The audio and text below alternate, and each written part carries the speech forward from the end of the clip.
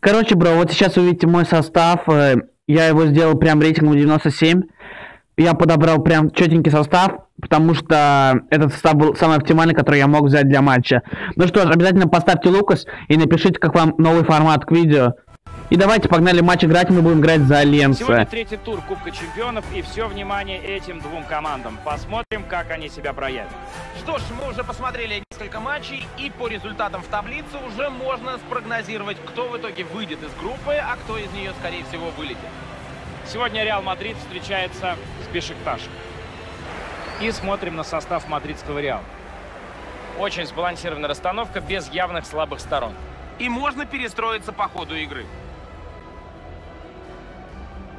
Как и многие другие стадионы больших клубов, Сантьяго Бернабео мог давно получить имя спонсора и называться, например, Абу-Даби Бернабео, но большинство болельщиков считают это как минимум кощунством по отношению к личности Сантьяго Бернабео. Но в этом нет ничего уникального или удивительного, потому что в мире это такая общепринятая сейчас практика, когда мировые известные бренды, вливая свои инвестиции в команды, хотят, чтобы название этих брендов звучало в названии стадиона. И вот атака на Ингалана. Он делает финт Зидана, он прорывает. Смотрите, он прям на острие стаи. Похож прям на целый косяк, который черных ворон догоняет белую ласточку. Удар и угловой. Угловой. Будет подавать Глушаков. Ух, давай, Глушаков. Центр штрафной обвешивай. Тяга Сильва, удар. И гол!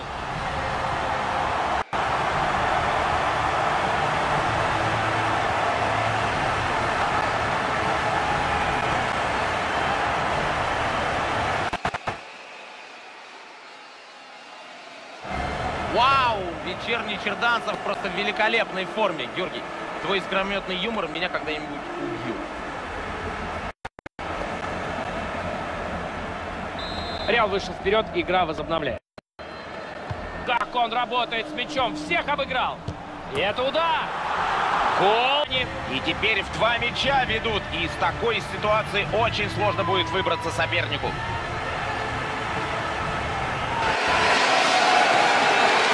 Очень аккуратно и точно, и практически без шансов для вратаря.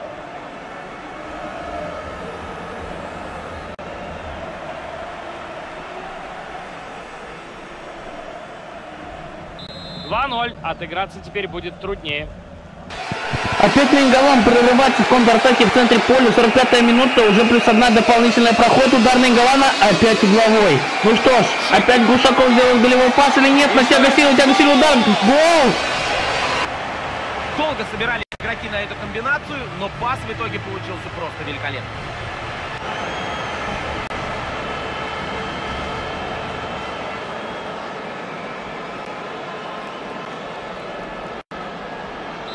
И продолжают забивать и забивать. Дается игра. А вот атака Реала. Роналду, опасно! А тут что? Гол! Гол и еще раз гол! После розыгрыша последовал великолепный пас и, как следствие, конечно, гол. Очередной гол Реала. В этом матче все понятно. И вряд ли Мадрид уже упустит победу. А вот еще один повтор, на этот раз с другого ракурса.